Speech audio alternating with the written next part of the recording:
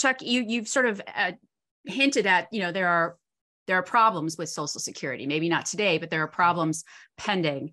Um, and I was wondering if you could just give our listeners sort of a, a general uh, uh, concept concept of how big those problems are. What are what are beneficiaries today and in the future facing with Social Security?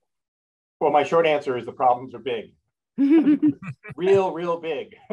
um, I think most people who follow public policy have at least a passing awareness that there's an issue here, that there's a financing shortfall in Social Security, uh, and lawmakers are going to have to deal with it.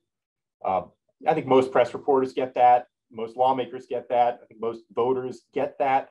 Uh, I think they miss how big and how urgent it is for the most part. I think it's much worse, much more urgent than people tend to recognize. When you see it reported on, often there's a tone of here's the latest trustees report, programs solve until the early 2030s. Gosh, that's a concern, but just keep it in the back of your mind. Uh, at some point, uh, it's going to have to be dealt with, and politicians will make a little nip and a tuck, and everything will be fine. Um, that's not where we're headed.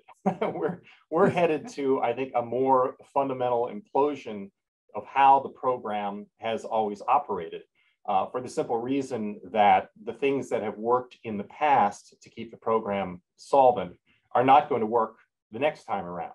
Um, you know, back in 1983, when they last did a, a big um, uh, rescue and they rescued the program from insolvency and they made some changes to taxes and eligibility ages and benefits and the like and kept it going, everything was very different. Uh, the annual income was here and the annual outflow was here. They were pretty close together, and lawmakers just needed to come together and close that gap. Uh, but what happened after that uh, you had the baby boomers in the workforce for the next couple of decades. So you had these big surpluses being built up. And then the baby boomers hit the retirement rolls and the program went into deficit starting in 2010. And those deficits have been getting bigger and bigger and bigger. And so the program is drawing down that trust fund that was built up when the baby boomers were um, in the workforce to the point where when that trust fund finally is on the verge of running out, the annual shortfalls are going to be so large there is no plausible, reasonable likelihood that lawmakers could actually take action to fill that gap on a moment's notice.